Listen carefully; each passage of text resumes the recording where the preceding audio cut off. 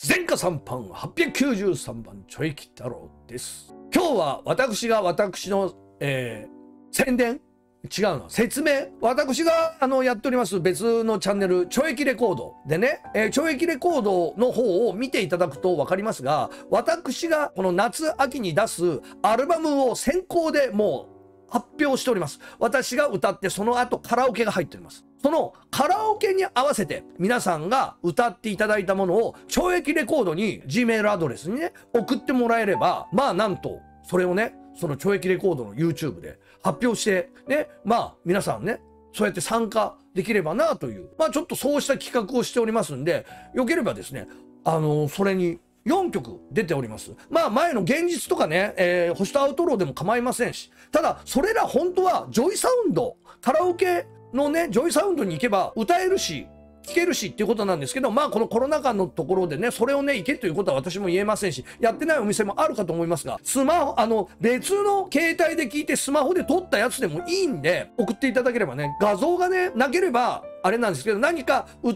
自分が映ってもいいですし、映したくなかったら景色でもいいですし、壁だけでもいいんで、まあ自分の曲をね、いっぱい他の人にね、聞かせてあげたいっていうことであれば 全然構いません。まだね、長期レコードの方はね、登録者数もね、ほんの1000ちょっとでね、ちっちゃいコンテンツではありますけど、これからね、皆様のね、力を借りて、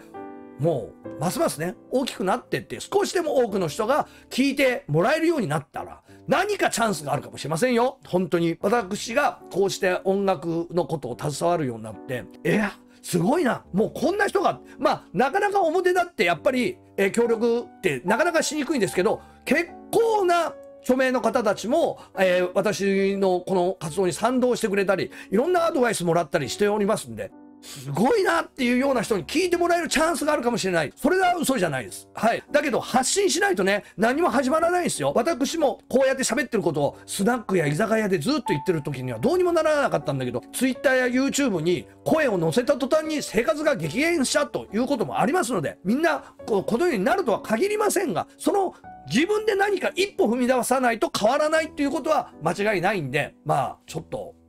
試しにやってやろうという方があれば、一回チャレンジしてみてください。詳しいことは、この下の概要に載っておりますので、よろしくお願いいたします。はい。